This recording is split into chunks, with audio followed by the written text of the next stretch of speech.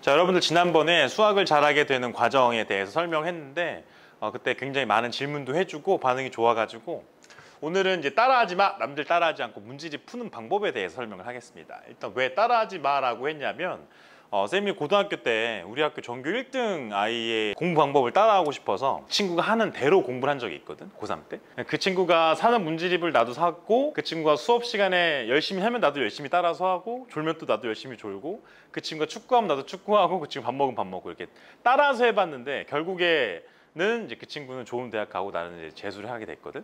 어, 이제 그게 생각을 해보면 너무 당연한 일이에요. 일단 뭐 학년도 고3이기도 했지만 어느 정도 돼 있는 상태에서 학습을 진행하는 거랑 어, 그렇지 않은 상태에서 학습을 진행하는 거랑 차이가 좀 있기 때문에 가장 중요한 건 여러분들이 어, 남들 따라하지 않고 자신만의 공부 방법을 찾는 게 제일 중요합니다. 여러분이 여기에 진짜 수많은 학생들이 있지만 수많은 방법이 있는 거예요. 당연하게 또. 종류별로 네 권. 요거는 어떤 문제집을 사야 될지 처음에 결정을 해주는 거야. 그러니까 우리는 선생님 예전에도 많이 얘기했는데 개념서, 유형 문제집, 그다음에 양측이 문제집, 기출 문제집 이렇게 네 권이 구비가 돼 있어야 하거든. 근데 이 네 권은 순서대로 여러분이 푸는 것이 아니고 어, 동시에 갖고 있는 문제집입니다. 그러니까 요즘에는 수능 세대라서 여러분들이 어, 문제은행식으로 수능 시험에 출제가 되는 게 아니거든요. 그렇기 때문에 내가 유형 문제집을 풀다가 모르는 게 나왔을 때 요것도 풀고 요것도 풀고 그날에 진도를 끝내는 거죠. 양치기 문제집을 푸는 내가 자꾸 틀리는 유형이 있어. 아 그럼 이게 기출문제 어떻게 나왔었지? 라고 확인을 해보는 겁니다. 어, 그래서 이거는 개념서는 강의 교재로 대체 가능합니다. 여러분이 인강도 많이 듣고 수업도 듣고 있기 때문에 개념서 그리고 유형 문제집은 영이 여러분이 많이 사는 센이나 RPM 그런 문제집들 양치기 문제집은 문제 많은 마플이나 자이스토리 이런 거 얘기하는 거고 기출 문제집은 제일 두껍고 싼 거. 어, 기출 문제집은 선별 되어 있는 거 사지 마시고 가장 큰일 나는 상황은 연도별로 되어 있는 겁니다. 유형별, 단원별로 되어 있는 걸 사셔야 돼. 그래야 여러분들이 나머지 문제집들을 사전식으로 풀 수가 있어요. 그리고 요 녀석들 있죠. 쌤 생각에는 유형 문제집 정도는 한 권 정도만 있으면 제일 적당한데 요거는 이제 한 권이어도 되고 어, 두권 이상이어도 돼요. 대신에 두 권 이상은 우리가 여러 번 푼다라는 거죠. 이거 다 풀고 다른 것도 풀고. 그래서 처음 하는 학생들이 개념을 세 번 보고 유형 문제집을 네 번 본다면 이거는 무조건 수학을 잘 할 수 있게 되거든. 근데 몇 회 독이라고 해서 이상한 거를 배워왔는데 어, 그렇게 세 번 보고 네 번 보라는 문제가 전혀 아니고 이 문제집을 푸는 방법에 대해 설명할 때 자세하게 얘기해 주겠지만 내가 개념서에 있는 문제집들, 유형서에 있는 문제집들을 여러분 한번 풀고 다시 봤을 때 틀린 것만 푸는 거예요. 알겠죠? 틀린 것만 풀었을 때 세 번, 네 번만 보면 어, 이건 수학을 못할 수가 없다. 못할 수가 없습니다. 음, 그래서 일단 네 개의 문제집을 종류별로 구비를 해라. 이게 가장 기본 세팅입니다. 그리고 두 번째는 유형 문제집을 푸는 순서에 대해서 이야기해주면 여러분들 유형 문제집 요즘에 상당히 좀 잘 돼 있어요. 상당히 잘 돼 있는데 일단 소단원 기준 예를 들면 지수 함수와 로그 함수가 1단원이지 그러면 지수, 로그, 지수 함수, 로그 함수 소단원이 4개예요.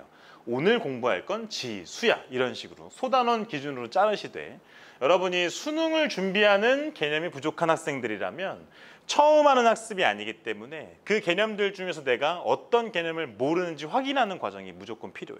그럴 때는 대표 유형, 기본 문제, 문제가 되게 많죠. 상중하까지. 그랬을 때 내가 빠뜨린 개념이 무엇일까 확인할 때에는 대표 유형만 싹 풀어서 틀리는 걸 골라내던지 아니면 대표 유형과 기본 문제 난이도 하만 싹 풀어서 내가 모르는 개념이 무엇인지를 확인하는 방법이 있고 내가 개념 학습을 진행하면서 지금 유형 학습을 풀고 있다라는 상황에서도 내가 앞에서부터 꼼꼼하게 전부 다 난이도 상까지 시단계까지 푸는 게 아니고 대표 유형과 기본 문제 먼저 싹 푸시고요.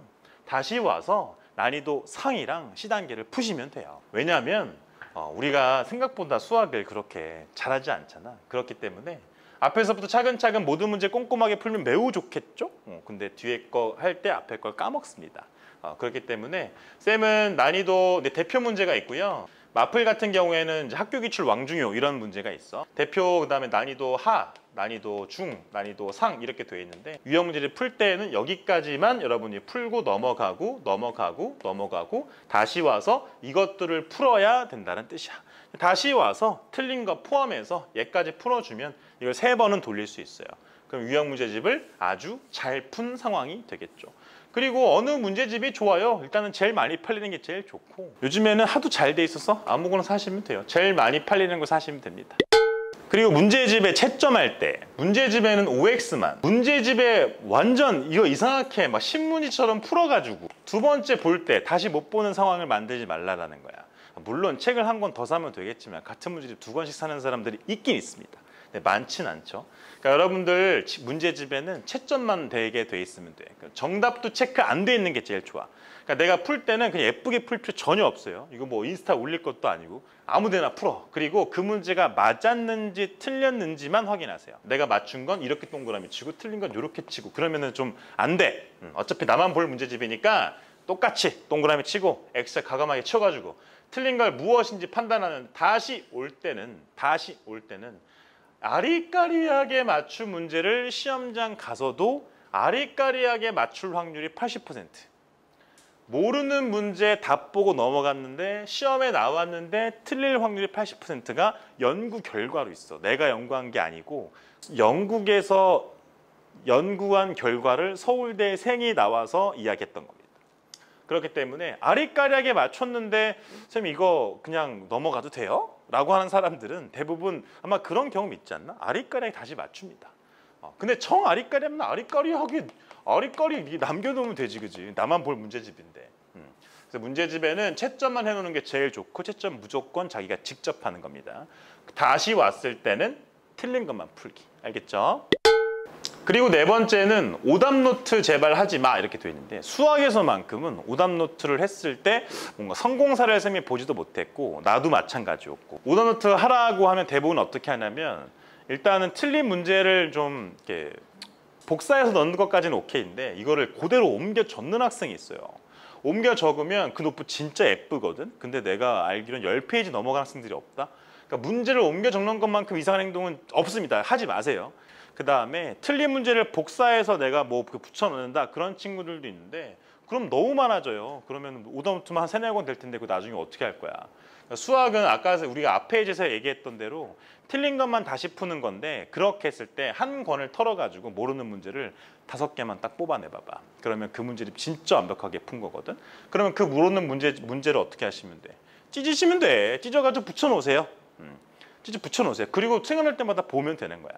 그렇게 오답 노트를 활용하라는 거죠. 그러니까 오답 노트를 따로 만드는 게 아니고 정말로 그 수학 책 자체가 오답 노트가 되게 만드는 게 제일 중요합니다. 알겠죠?